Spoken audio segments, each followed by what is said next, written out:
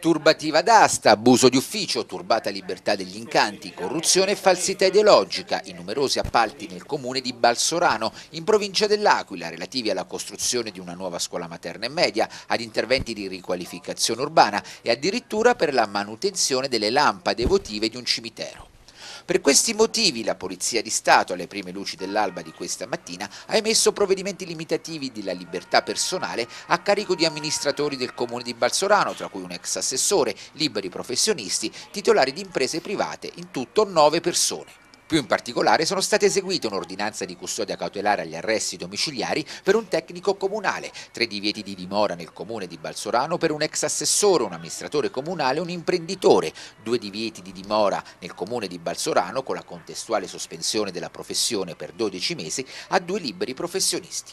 L'indagine, durata due anni e che si avvalsa anche di intercettazioni telefoniche, è partita da un esposto anonimo. Perquisizioni e indagini sono ancora in corso, la questura non è intesa ancora rendere noti i nomi delle persone coinvolte. Gennaro Capasso, nuovo dirigente della squadra mobile dell'Aquila, oggi spiegato in conferenza stampa che il sistema corruttivo posto in essere dagli indagati si è concretizzato alterando gare di appalto e procedure pubbliche, falsificando documenti e assumendo accordi corruttivi, senza documentati passaggi però delle classiche mazzette. Un esempio, il tecnico comunale, considerato il dominus del sistema corruttivo, avrebbe abbassato illecitamente sotto la soglia dei 40.000 euro le spese tecniche dell'appalto per la realizzazione della nuova scuola, per poter poi procedere a un affidamento diretto e senza gara al professionista di sua fiducia, facente parte, questa è l'ipotesi accusatoria, del sodalizio. Eh, venivano studiati alcuni accorgimenti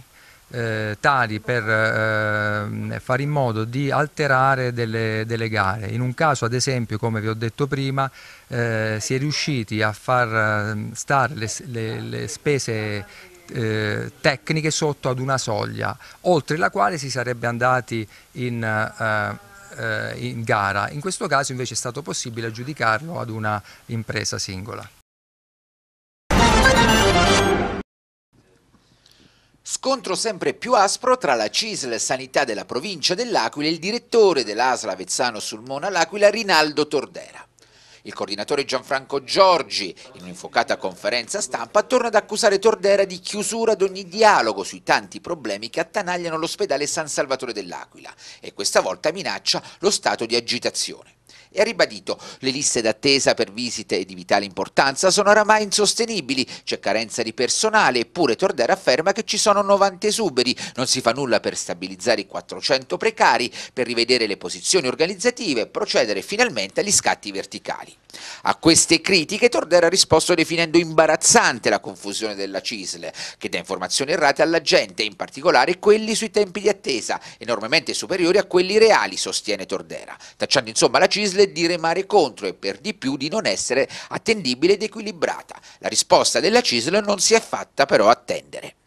Il problema delle liste attesa che noi l'abbiamo già eh, come dire, eh, riportato in più occasioni sulla stampa, per esempio ci vogliono 10 mesi per fare una risonanza magnetica cranio, ci vogliono eh, un anno abbondante per, per una visita senologica, eh, 6 o 7 mesi per una mammografia e quindi ci sono tantissime eh, tantissimi problemi che riguardano il cittadino, per esempio è stato chiuso l'hobby all'interno del, del, pronto soccorso per carenza di personale.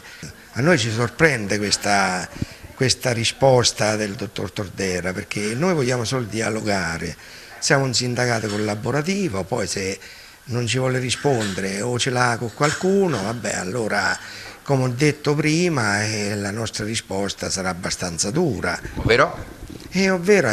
indiremo lo stato di agitazione, noi non deve, non, dobbiamo tenere presente che siamo il primo sindacato, non siamo soli, La Commissione Salute e Lavoro nella seduta di giovedì 20 ottobre ha ascoltato i rappresentanti del mondo editoriale e del giornalismo abruzzese allo scopo di approfondire e migliorare i progetti di legge sul tema del sostegno all'editoria. Due provvedimenti simili, uno a firma del consigliere Maurizio Di Nicola, l'altro sostenuto dai componenti dell'ufficio di presidenza del Consiglio regionale con Di Pangrazio primo firmatario. I commissari hanno sentito i pareri del presidente dell'Ordine dei giornalisti d'Abruzzo, del sindacato dei giornalisti, del Corecom, dell'organizzazione di categoria Eranti Corallo giallo e dell'Associazione delle radiotelevisioni europee associate. Entrambi i sostenitori dei progetti hanno espresso la volontà di pervenire ad un testo unico con la possibilità di accogliere alcuni dei suggerimenti dei soggetti intervenuti. Ascoltiamo ora l'intervento reso a margine dell'audizione in commissione del presidente dell'Ordine dei giornalisti d'Abruzzo Stefano Pallotta. Noi riteniamo che la dotazione finanziaria probabilmente è da rivedere perché il, incide scarsamente, così come è impostato nei due progetti di legge presentati, può incidere scarsamente nella, per la ripresa e il riavvio del, del settore eh, in Abruzzo del settore dell'informazione e abbiamo potuto anche in questo caso constatare che c'è una grande volontà politica di riuscire a trovare eh, dotazioni nuove, dotazioni più consistenti per eh, dare un contributo serio alla, al settore. Legare a letto e imbottire di farmaci persone con disagi psichiatrici che invece andrebbero curate e reinserite in società ovvero la contenzione meccanica e farmacologica, di cui spesso si fa uso o meglio abuso, nonostante la chiusura dei manicomi, passi da gigante che si sono compiuti negli ultimi decenni in Italia a seguito della legge Basaglia nell'ambito della salute mentale. Questa è la cornice tematica di E tu slegalo subito, una tre giorni da giovedì 27 a sabato 29 ottobre, organizzata all'Aquila dall'associazione 180 Amici Ollus. Pregio dell'iniziativa è che il tema della follia e della salute mentale sarà raccontato con il linguaggio universale del teatro. Il 27 alle ore 21 Rosetta Malaspina per la regia di Margherita Di Marco e Vincenzo Mercurio presso lo spazio immediato, venerdì 28 e sabato 29 Sete per la regia regia di Emiliano Aiovala Asit e Psicosi, diario di un'anima di Preziosa Salatino e Sabrina Vicari, entrambi alla Casa del Teatro di Piazza d'Arti. Al nostro microfono il direttore artistico Giulio Votta. Eh, I tre spettacoli parlano in tre modi diversi della, di eh, tre personaggi, personaggi anche abbastanza noti, eh, italiani, italiani e stranieri. Il primo spettacolo parla di Rosetta Malaspina, eh, il secondo spettacolo parla di Leonardo Vitale e il terzo spettacolo parla di Sarah Kane. Rosetta Malaspina eh, era una donna del sud, una donna eh, calabrese che ha avuto eh, diciamo così, ha avuto dei problemi in seguito a quello che è stato un amore eh, finito male, ha aspettato per più di 50 anni un uomo che era partito per eh, cercare lavoro e che non è più tornato. Il secondo spettacolo, quello, di, quello su Leonardo Vitale, è uno spettacolo appunto eh, che parla del primo pentito di mafia per motivi di coscienza che viene internato dalla mafia in due eh, grandi strutture, in due ex OPG che sono l'OPG di Barcellona Pozzo di Gotto